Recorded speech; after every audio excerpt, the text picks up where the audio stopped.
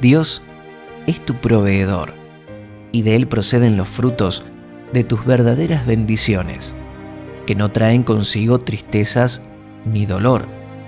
Cuando vamos tras la codicia, sin importar la obediencia, obtenemos perdición y sufrimiento.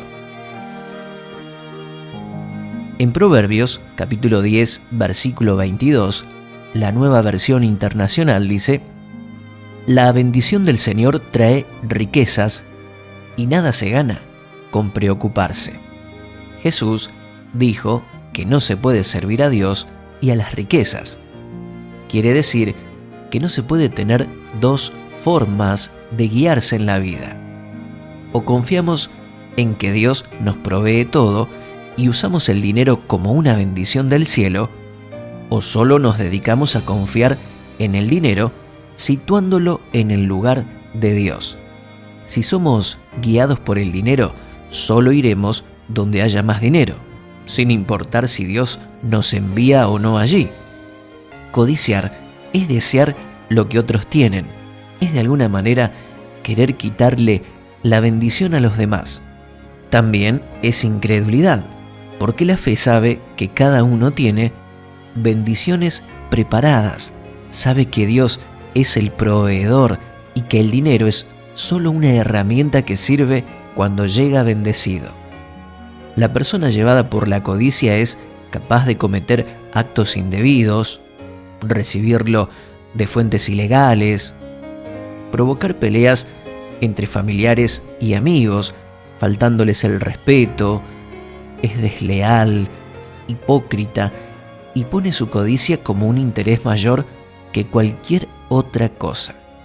La prosperidad llega cuando obedecemos a Dios y nos esforzamos esperando nuestra propia bendición. Proverbios 10:22 dice, Así son las sendas de la gente ambiciosa. Su propia ambición les quita la vida. Por estas perderán la vida. Hagamos esta oración. Dios Todopoderoso, proclamo que tú eres mi proveedor, que fuera de tu cobertura las riquezas traen problemas y angustia. Renuncio a codiciar bienes ajenos y decido esforzarme para ir tras las bendiciones que tienes preparadas para mí. Te lo pido en el nombre de Jesús. Amén. Gracias por compartir este tiempo con nosotros. Te saludamos desde avanzapormás.com. Estamos para bendecirte.